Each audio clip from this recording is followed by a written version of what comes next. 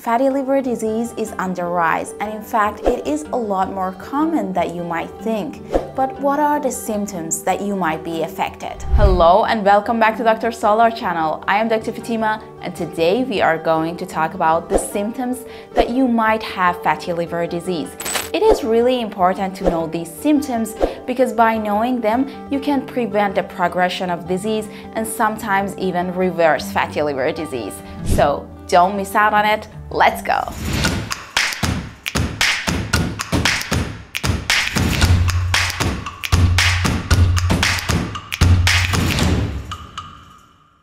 Fatty liver refers to the buildup of excess fat in your liver cells. The liver's job is crucial. It processes everything we eat and drink, filters harmful substances from the blood, and performs many other vital functions. And when there is too much fat in your liver, it can interfere with all of these processes. There are several factors that can contribute to the development of fatty liver disease. The first one is your diet. Consuming a lot of processed foods, saturated fats, refined sugars, and calories can increase your risk. The next one is an obvious one, alcohol. Excessive consumption of alcohol can lead to alcoholic fatty liver disease. Also, if you don't have everyday physical activities and you have a sedentary lifestyle, you should consider yourself at risk. And there are some underlying health issues which have been shown to be associated with fatty liver disease. Conditions like obesity, high blood pressure, and especially type 2 diabetes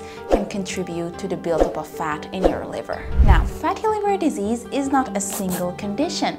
It has several stages, and the first one is simple fatty liver. It is the initial stage where there is a buildup of excess fat in your liver, but typically there is no damage at this point. But it is an alarm sign that you need to change your lifestyle. If you continue with the bad lifestyle, the next stage would be liver steatohepatitis, where the liver gets inflamed. Non-alcoholic steatohepatitis can lead to more severe complications and is a red flag. Over time, this persistent inflammation can cause scar tissue to form and replace your healthy liver tissue. It is called the fibrosis stage. The liver can still function at this stage, but its ability to regenerate and process toxins can become compromised. The most severe stage of fatty liver disease is cirrhosis. In this stage, the liver gets significantly scarred, which can affect its structure and its function. Cirrhosis can lead to liver failure,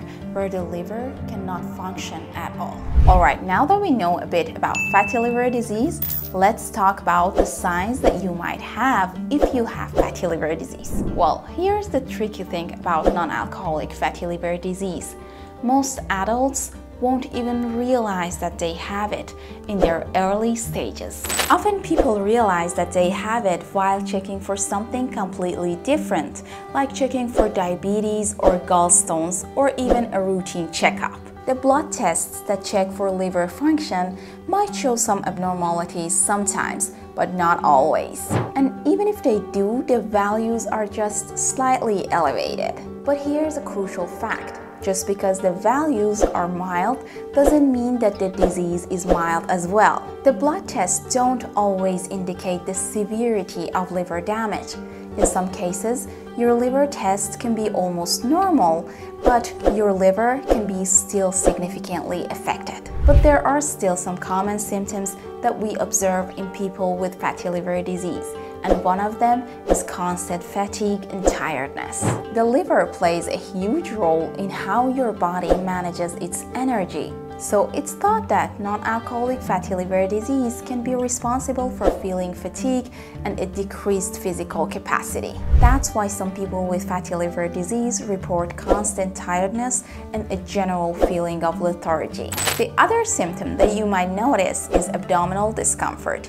Some people experience a dull or aching sensation in the right upper side of their abdomen. This discomfort might be intermittent, but it can be a direct result of your liver being affected. The next symptom that you might experience is itchy skin. As the liver struggles to filter out toxins from your bloodstream, you might experience itchy skin.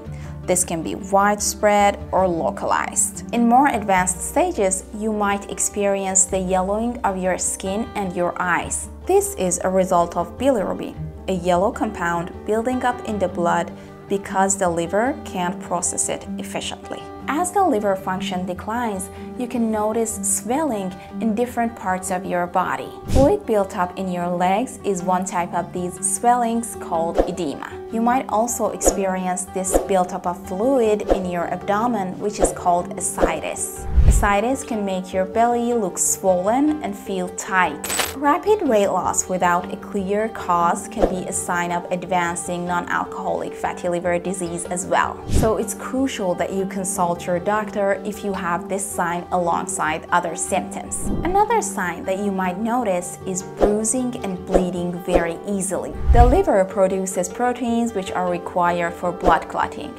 As the liver function gets compromised, these proteins can no longer be produced very well and you can experience easily bruising and bleeding. In severe cases, when liver cannot process the toxins anymore, these toxins build up in your brain. The buildup of toxins in your brain can lead to confusion, drowsiness, and slurred speech a condition known as hepatic encephalopathy. What's really important to know is that these symptoms are really general and they can easily overlap with those of other medical conditions. But anyway, if you or someone you know is dealing with these symptoms, especially with a combination of them, it's crucial to talk to a medical professional in order to get an accurate diagnosis. Remember that early detection is the key to a healthier and brighter future. Thank you for being with me and don't forget to like and subscribe for more videos like this. Until the next video, bye!